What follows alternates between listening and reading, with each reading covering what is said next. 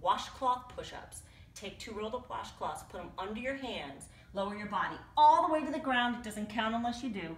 Squeeze yourself back up and push the floor away from you while squeezing the hands together. That's your movement mission.